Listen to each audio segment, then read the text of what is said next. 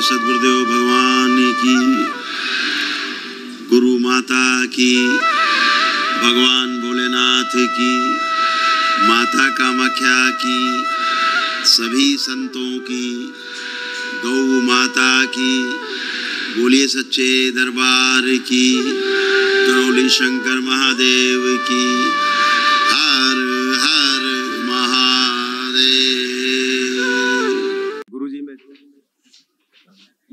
खुश रहिए गुरुजी मैं प्राश्चित करने आया हूँ। मैं जो है बहुत बड़ी कहाँ है? बेटा तुम्हारा कहाँ है? मुझसे बहुत बड़ी भूल हुई है। बुला उसको। मुझसे बहुत बड़ी गुरुदेव भूल हुई है। मुझे क्षमा कर देना प्रभु। मैं बाबा से भी प्रार्थना आओ बेटा। मैं रात भर एक दिन मैंने रोया जो है मैंने कहा मैंने जिसकी पूजा किया है मुझे वो भी बता दे कि मैंने क्या गलती किया। बाबा ने मुझे कहा कि भटक के छक गया है तो मेरे दरबार आ जाना। मैंने गुरु सुबह उठा मैंने मेरी औरत भी पूछा कहाँ जा रहा है? तो मैंने किसी से नहीं बताया। मैंने कहा मुझे जहाँ जाना है मैं वहाँ जाऊँगा। मुझे कोई संसार में ठीक नहीं कर सकता। मैं अपना प्राश्चित करने आया हूँ गुरुदेव। मैं परेशान हो गया। देखो तुम दरबार छोड़ के कहाँ कहाँ भटक आए। भटक गया मैं। फिर मैंने कहा, जब मुझे कुछ समझ में नहीं आया, मैं बच्चा लेटा था रात में, मैंने कहा, हे परमात्मा, जिसकी पूजा किया है तो वो भी मुझे बता दे कम से कम, कहाँ जाना है तुझे? मुझे बाबा ने कहा कि, भटक के छक गया हो, परेशान हो चुका हो तो मेरे दरबार आ जाना, मैं तुझे तुरंत ठीक कर दूँगा। गुरु जी, मेरे कंपन हो रही थी शरीर में, मैंने वनडे किया, धीरज बदना शुरू हो गया मुझे मैं इस तरह में खड़ा ना हो पा रहा था अगर जाली बंद हो जाती तो घबराहट होने लगता था तुरंत जो है। लगता था कहाँ जाऊँ कहाँ ना जाऊँ बस यही प्राश्चित करने आया हूँ। कई साल भटक लिए अब अब भटक लिए, भी अपने दरबार आ गया हूँ तो मुझे अब प्रक्रिया कर ली। आप प्रक्रिया पूरी कर लेना छोड़ना मत। नहीं नहीं आप ज़िंदगी में नहीं छोड़ूँगा गुरुदेव कब तो कभी मैं दूसरे को रोका करता था कभी दरबार छोड़ के भटक न जाना पता नहीं मुझे क्या हुआ कि कौन सी स्मृति मुझे ले गई मैं समझ ना पाया गुरुदेव। कोई बात नहीं। जब ये बच्चा होता है कभी चलते कभी चलते भोग भी- रहते हैं अपने। जी जी जी। अपने भोग रहते ही आदमी भटकता रहता है। मैं तो बहुत डरता था कि गुरुजी मुझको बहुत डांटेंगे बहुत जो है कहेंगे। मैं बहुत हताश था। नहीं नहीं डांटने वाली बात ही नहीं हो तो आपका अपना भोग है कर्म भोग कट गए। इसी बहाने कट गए। ऐसी बहाने कट गए गुरुदेव। इसी बहाने सब परीक्षण हो जाता है कहाँ इतना घबरा गया नहीं करना है।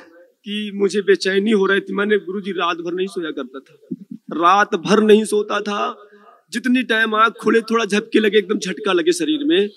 ऐसा लगा कोई खींच दिया मुझको पकड़ के फिर कई लोग डीएनए में रखे? डीएनए में पाँच लोग हैं गुरुजी। दो मेरी बच्चियाँ हैं औरत है ये बच्चा है मैं हूँ। दो बच्चियाँ का डीएनए एक था तो उनको शादी हो गई चली गई। अच्छी कोई बात नहीं। बिल्कुल स्वस्थ है बिल्कुल स्वस्थ। कभी उनका मूड नहीं दर्द करता बहुत बढ़िया। तो आप पाँच लोग हैं डीएनए जी। देखो ये तुम्हारे बच्चे के ये सब कष्ट नष्ट हुए। आँखों की रोशनी कम हो रही थी। पागल बनाने वाली ही स्मृतियाँ थी। मारपीट कराने वाली स्मृतियाँ थी। हार्ट कमज़ोर हो रहा था। कोमा में ले जाने वाली स्मृतियाँ थी। लीवर जो है, शिथिल हो रहा था। सुनकर पूरा ना समझने देने वाली स्मृतियाँ थी। हाथों के हथेलियों में पसीना आता था। आईसीयू में ले जाने वाली स्मृतियाँ थी। दुर्घटना कराने वाली स्मृतियाँ थी। यूरेटर नली में पस भर रहा था। कमर से नीचे कमज़ोरी आ रही थी। प्रोस्टेट में सूजन था। कैंसर की स्मृतियाँ थी भोजन नली में पौरुष ग्रंथि में यूरेटर नली में और लीवर में। बिल्कुल सत्य है गुरुजी। बिल्कुल यथार्थ है। हमेशा चक्कर ऐसा आया करता था। बिल्कुल दो बार तो उसे अस्सी लेकर के भगा जान देने के लिए। और मारपीट गाली देना जुआ खेलना ये सब करता था सही बात सही कमज़ोर होता जा रहा था बेहोश हो जाता था चलते चलते फिर गाली देता ऑक्सीजन कम हो जाती थी। और फिर ब्रेन में मुझे भूत ऑक्सीजन की मात्रा कम हो जाती थी चक्कर आ जाता था गिर जाते थे। अब गुरु जी जैसे तो थोड़ी के पूछ ले थोड़ी के जब है अब यार बता गुरुजी का थोड़ा सा प्रणाम गुरुजी। खुश रहो हीरो कैसे हो? ठीक है। तो स्कूल जाते हो कि नहीं अब? गुरुजी स्कूल कहाँ जाते हो? स्कूल नहीं जाते हो? नहीं जाते। जाने का मन नहीं करता होगा। नहीं तो। का अच्छा सही सही बताइए का का का करने को मन हो तुम्हें? खेती वेती करने को मन करत? खेती को? जाते हाँ, खेती करने? हाँ। जाते अच्छा और आँखें बंद करो। स्त्री शरीर पीछे पीछे बाँध दीजिए स्त्री शरीर। पुरुष शरीर आगे लाया जाए इसको। शुद्धि। अच्छा। प्रहार। धूमावती।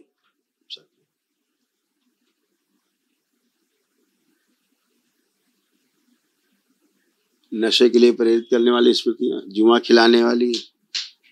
गेम खिलाने वाली स्मृतियाँ, हत्या, आत्महत्या कराने वाली स्मृतियाँ, पागलपन की सभी स्मृतियाँ सब नष्ट की जाए। स्त्री से भी पीछे किया जाए, जिसके स्तन बन गए और योनि बन गए। पीछे किया जाए सबसे। निकाल के खिला दिया प्रहार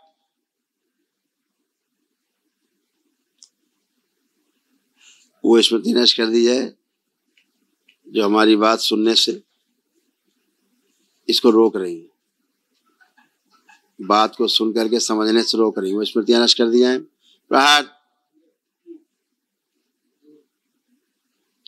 इसके जो अंडा से ओवरी बन गए हैं, पुनः अंडा से बना दिए जाए।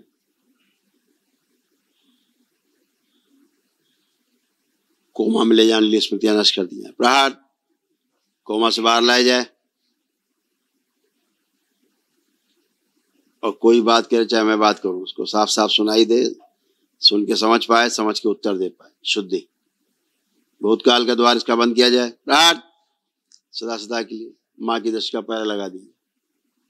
अभय प्रदान किया जाए, निर्भय कर दीजिए जिसका गुप्तांग गायब है, लगा दिया जाए सूक्ष्म। शिव!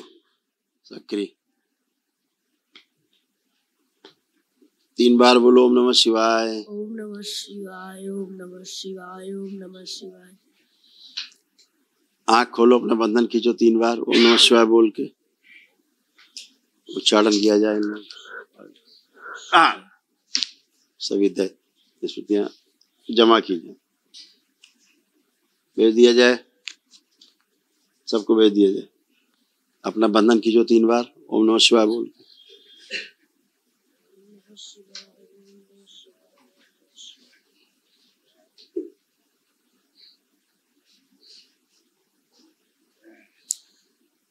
क्या तुम्हारा क्या नाम है? अमित सिंह। अमित? अमित सिंह। अच्छा। हमारी बात तुम्हें समझ में आ रही? है? हम जो कह रहे पूरे पूरे सुन रहे हाँ? ऐसा तो नहीं कि कछु सुनाई न दे रहे? हो सुना दे रहा हूँ। समझ में आ रही? है समझ में आ रही जे कौन है तुम्हारे? पिताजी। पिताजी। तो पढ़न जा रहे कि नहीं? जाएँगे गुरु जी जान की इच्छा है रही? हाँ गुरु जी पढ़ने जाएँगे अब। आप जाओगे? हाँ। हाँ।